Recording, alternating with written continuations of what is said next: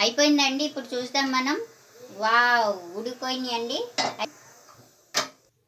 welcome welcome to Malin kitchen అండి. ఈరోజు మనం పండగ ప్రసాదాలు చేసుకున్నామండి. చూడండి ఐదు రకాలు చేసుకున్నాను నేను ప్రసాదాలు.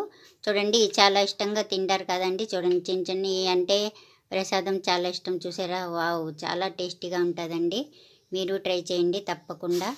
ఇది చూడండి ఈ ఈ చూడండి ఈ రకం చేసుకున్నాను. మన ఇష్టం ఎలాగైనా చేసుకోవచ్చండి. అన్ని పూర్ణాలతో మనం చేసుకొని బాగా చూడండి ఇది కోసి మీకు చూపిస్తాను. ఈ రెసిపీ మీకు నచ్చితే లైక్ కామెంట్ షేర్ సబ్స్క్రైబ్ చేయండి. మర్చిపోకండి తప్పకుండా చేయాలి మీరు. మర్చిపోకూడదు. చూడండి పూర్ణం ఎలా కనపడుతుందో.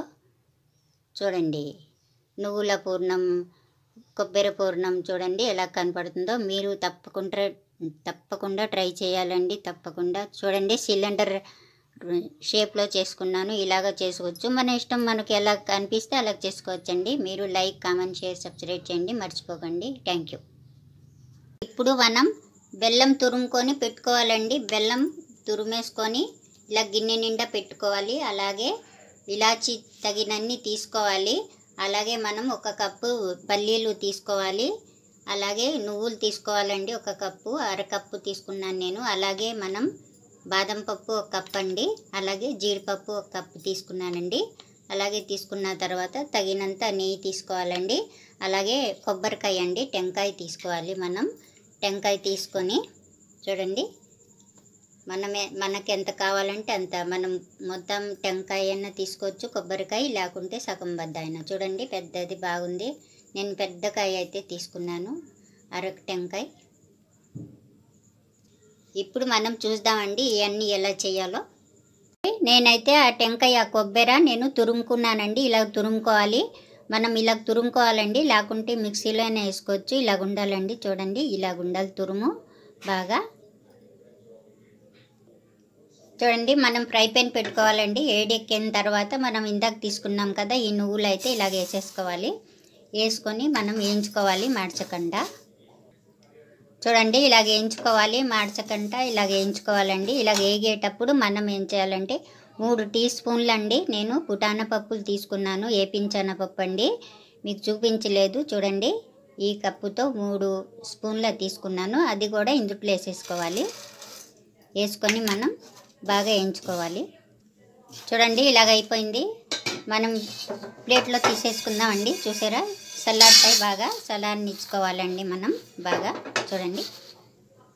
చూడండి పల్లీలు కూడా నేను వేయించుకొని అది తొక్కలు తీసి ఇలా చేసుకొని పెట్టుకున్నానండి. మీ మనకు టైం లేకపోతే ముందే చేసుకొని మనం పెట్టుకోవచ్చండి ఇలాగా. లేకుంటే అప్పటికప్పుడే చేసుకోవచ్చండి.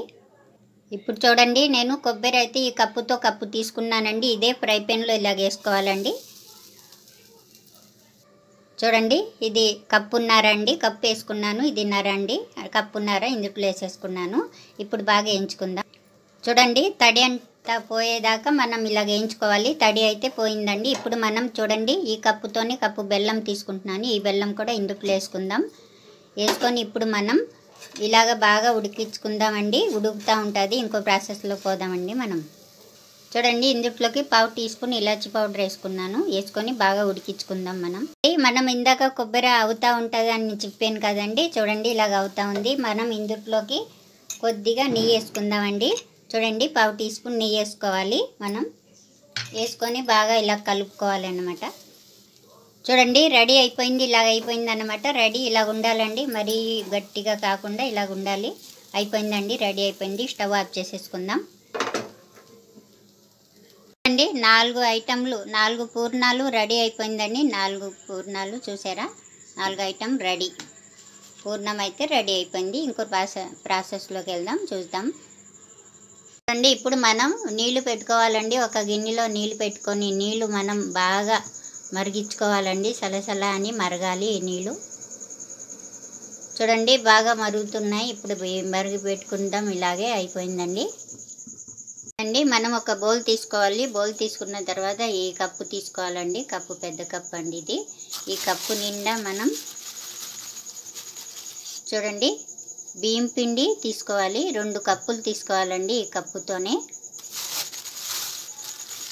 రెండు కప్పులు తీసేసుకున్నానండి. చూడండి ఒక చిట్కి సాల్ట్ వేసుకుంటున్నాను. చూడండి అలాగే నేను ఒక టీ స్పూను చక్కెర వేసుకుంటున్నాను ఇందుట్లో. చూడండి ఇప్పుడు ఇందిట్లో మేము మరగబెట్టుకున్నాం కదా ఆ నీళ్ళు వేసుకొని మనం కలుపుకోవాలి. ఇలాగే కొద్ది కొద్దిగా వేసుకొని కలుపుకుంటూ ఉండాలండి మనం. చెంచాతో కలుపుకోవాలి ఫస్ట్ కానీ నీళ్ళు బాగా మరుగుతూనే ఉండాలండి.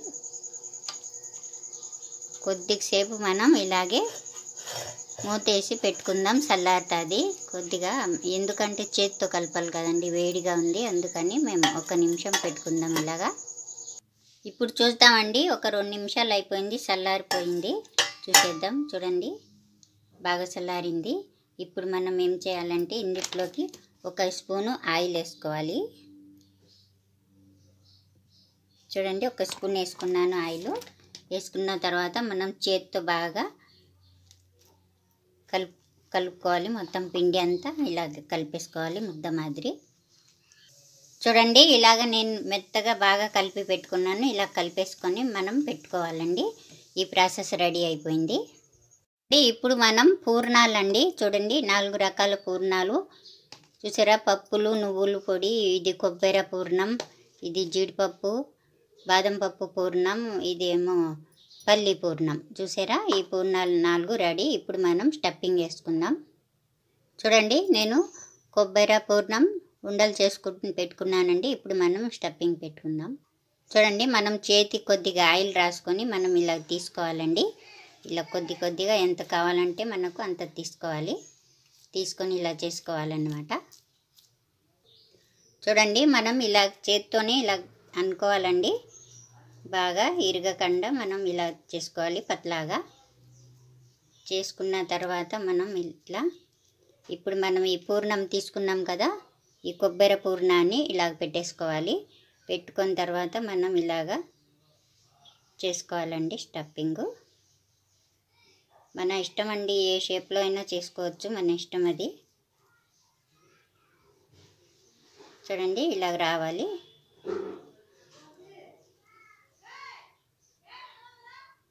చూసారా? మిగిలింది మనం ఇలా తీసేసుకోవాలి. చూడండి ఇలా చేసుకోవాలి పూర్ణం. చూసారా? మన ఏ షేప్లో చేసుకున్నా మన ఇష్టం అండి ఇలా చేసుకుందాం. చూడండి నేనైతే చేసేసుకున్నాను. ఇది ఇంకో షేప్ చేసుకుందామండి. నాలుగు చేసుకున్నాను నేను కొబ్బరి పూర్ణం. చూడండి మనం ఒక ప్లేట్ అయినా తీసుకోవాలండి. లేకుంటే మన దగ్గర అరిటాకున్న ఏదైనా ప్లాస్టిక్ కవర్ అయినా తీసుకోవాలండి. తీసుకొని మనం ఇలాగా ఆయిల్ రాసుకోవాలి. రాసుకున్న తర్వాత మనం ఈ పిండిని ఇలా పెట్టేసుకొని ఇలాగ అద్దుకోవాలి చేత్తో. చూడండి ఇలాగా చేసుకున్న తర్వాత పూరిలాగా మనం ఈ కొబ్బరి పూర్ణం ఇలా పెట్టుకోవాలండి. ఇలా పెట్టుకున్న తర్వాత మనం ఏం చేయాలంటే ఇప్పుడు ఇలాగ నెమ్మదిగా ఇలా తీసుకోవాలి. మనం విరగకుండా ఇలా తీసుకొని ఇలా స్టఫ్ చేసుకోవాలి మనం బాగా.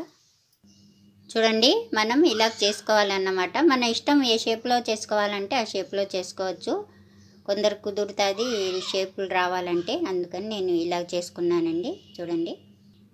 చూడండి మనం ఇడ్లీ రేక్ తీసుకోవాలి. తీసుకొని కొద్దిగా మనం ఇలా ఆయిల్ పెట్టుకోవాలండి. లేకుంటే అరిటాకైనా పెట్టుకోవచ్చు. నేనైతే ఆయిల్ పెట్టుకుంటున్నాను. పెట్టుకున్న తర్వాత మనం చూడండి చేసుకున్నాం కదా ఆ పూర్ణం కొబ్బరి పూర్ణంటి ఇలా పెట్టుకోవాలండి. ఇలా పెట్టేసుకోవాలి అన్నీ. చూడండి పెట్టేసుకున్నా. పెట్టుకున్న తర్వాత ఇది కూడా పెట్టేసుకున్నా. ఇలా పెట్టుకోవాలన్నమాట. అవి కూడా చేసుకుందాం. చూడండి ఇంకో స్టఫింగ్ వేసుకుందాం మనం. దీనికైతే మనం ఇలా తీసుకుంటున్నానండి. నేను సిలిండర్ షేప్లో చేసుకుంటున్నాను. చూడండి ఇలా చేసుకోవాలి. మనం ఇలా తీసుకోవాలి ముద్ద. తీసుకున్న తర్వాత మనం ఈ జీడిపప్పు బాదం పప్పు మిశ్రమాన్ని ఇలా వేసుకుంటున్నాను నేను. చూడండి ఇలా పెట్టుకోవాలండి. మనకి ఎంత స్టఫింగ్ కావాలంటే అంత పెట్టుకోవచ్చు మన ఇష్టం అది. చూసారా ఇలా పెట్టేసుకోవాలి. పెట్టుకున్న తర్వాత మనం ఇలాగా చేసుకోవాలండి. సిలిండర్ లాగా ఇలా చుట్టేసుకోవాలి మనం. ఇలా చుట్టుకోవాలండి. చుట్టుకున్న తర్వాత ఇలా చేసేసుకోవాలి. చూడండి ఈ షేప్లో రావాలి. చూసారా ఎంత బాగా వచ్చిందో? సిలిండర్ షేప్లో చేసుకున్నాను నేనైతే. చూడండి ఇలా చేసుకోవాలి. ఇలాగే ఒక ఐటమ్ అండి. ఇలాగ ఒక చేసుకోవచ్చు. మనకు కావాలంటే ఏ షేప్లో అయినా అలా చేసుకోవచ్చు. నేను ఈ షేప్లో చేసుకున్నాను. చూడండి అన్నీ రెడీ అయిపోయింది అన్నీ చేసేసుకున్నాను. నాలుగు రకాల పూర్ణాలు కుడుములు చేసేసుకున్నానండి. ఇప్పుడు మనం ఈ ప్రాసెస్ అయిపోయింది. ఇప్పుడు చూడండి ఇడ్లీ పాత్ర పెట్టుకోవాలి. మనం నీళ్ళు కొద్దిగా నిమ్మ చెక్క వేసుకొని మనం మరుగపెట్టుకోవాలి బాగా మరిగేటప్పుడు మనం చూడండి ఇందాక చేసుకున్నాం కదా ఈ కుడుములు ఇలా పెట్టేసుకుందాం. ఇలా పెట్టేసుకోవాలి అన్నీ. చూసారండి ఎలా చేసుకున్నాను అన్నీ చేసుకొని ఇలాగ మనం పెట్టుకోవాలి.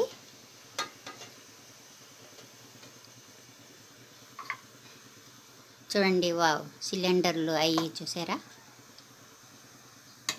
పెట్టేసుకుందాం ఒక రెండు మూడు నిమిషాలు పెట్టుకుందామండి. మూత పెట్టేసి పెట్టేసుకోవాలి. చూడండి మనకు ఇప్పుడు కొద్దిగా పిండి మిగిలిందండి. ఈ పిండిలోనే మనం పూర్ణం ఇది కొబ్బరి పూర్ణం ఉంది కదా ఆ పూర్ణాన్ని వేసుకోవాలండి. వేసుకొని రెండు మిక్స్ చేసుకొని మనం బాగా కలిపేసుకోవాలి. మన దగ్గర ఎంత పూర్ణం ఉందో అంత వేసేసుకుంటా. కలుపుకుంటా ఉండాలండి. చూడండి మొత్తం మిక్సీ చేసేసుకోవాలి అంతా. చూడండి ఇలా కలిపేసుకున్నాం కదా మొత్తం కొబ్బరి పూర్ణాన్ని కలిపేసుకున్నాం కదా ఇప్పుడు మనం చేతికి కొద్దిగా ఆయిల్ చేసుకొని మనం ఇలాగా చిన్న చిన్న ఉండలు చేసేసుకోవాలి. చూడండి ఇలా ఉండలు చేసుకొని మనం ఇందుట్లో వేసుకోవాలి. మొత్తం అన్నీ చేసేసుకుందాం. చూడండి ఇలా చేసేసుకోవాలి అన్నీ. చూడండి చేసేసుకున్నానండి. ఐదు రకాల ఐదు రకం అండి ఇది. అయిపోయినాయి ఐదు రకాల రెడీ అయిపోయినాయండి ఇవి. చేసుకోవచ్చండి అన్ని పూర్ణాలతో మనం చేసుకొని బాగా చూడండి ఇది కోసి మీకు చూపిస్తాను. ఈ రెసిపీ మీకు నచ్చితే లైక్ కామెంట్ షేర్ సబ్స్క్రైబ్ చేయండి. మర్చిపోకండి తప్ప